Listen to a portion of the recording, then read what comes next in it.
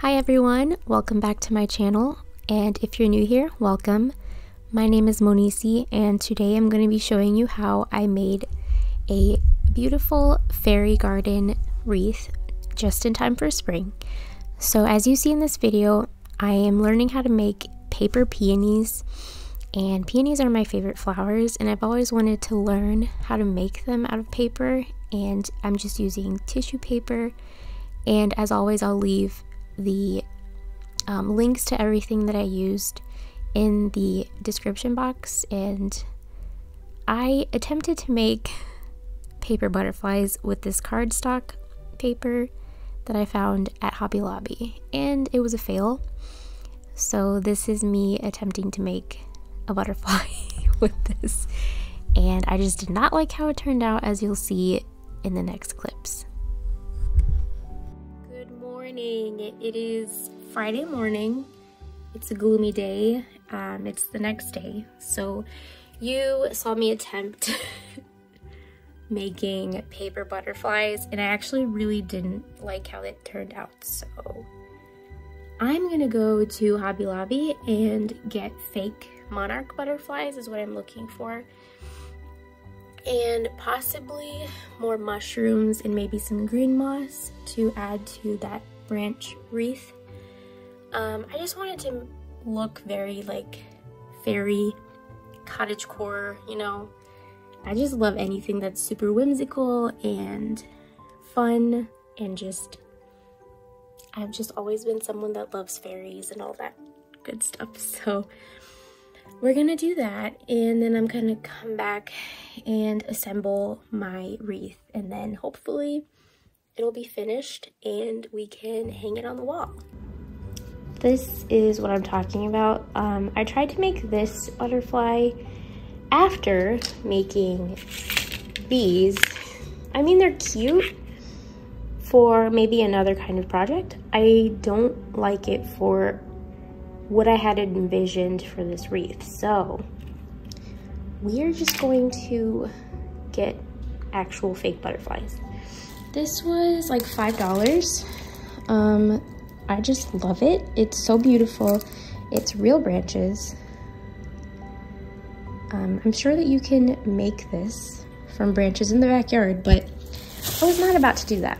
And then these are the flowers that I made yesterday, little peonies. Um, I don't think I'm gonna make more. I might just buy more, maybe some fake flowers, and then just add these. And then I have these cute tiny mushrooms that I want to add. And then I'm just taking some of these off and adding it to the wreath as well. I just cut each one out. She's really cute. Okay, we're back home from Hobby Lobby and I got everything except for mushrooms. I always do this. I go with the intention of getting something and I leave, come home, and I remembered, forgot something. So Okay, this is what I found. I found these beautiful butterflies. I think look very fairy-esque. and then these butterflies as well.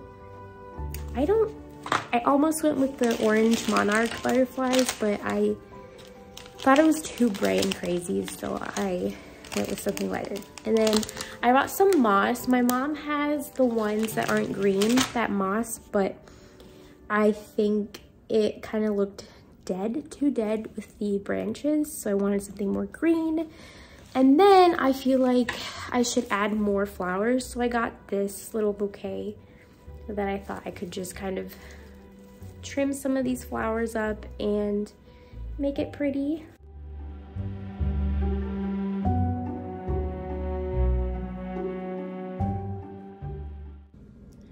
Please excuse my mess from yesterday, but I still have like tissue paper all this stuff around. So um, this is what we're working with. Moss, all this, this beautiful fairy, this stuff, and then here is, I'm just gonna grab the wreath, maybe put it right here, and then start adding on to it. I might have to break off some branches to make it nice, but let's get started.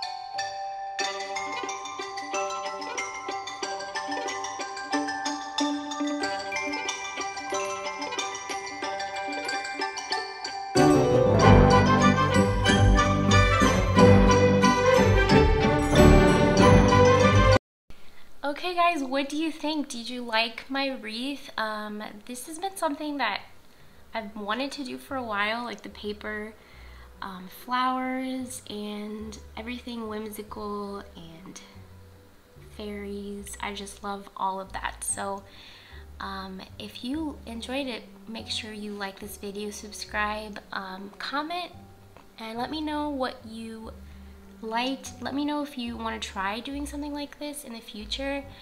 Um, yeah. Oh, also, look how perfect this mug is. It goes with the theme. There's a mushroom handle, which is so cute.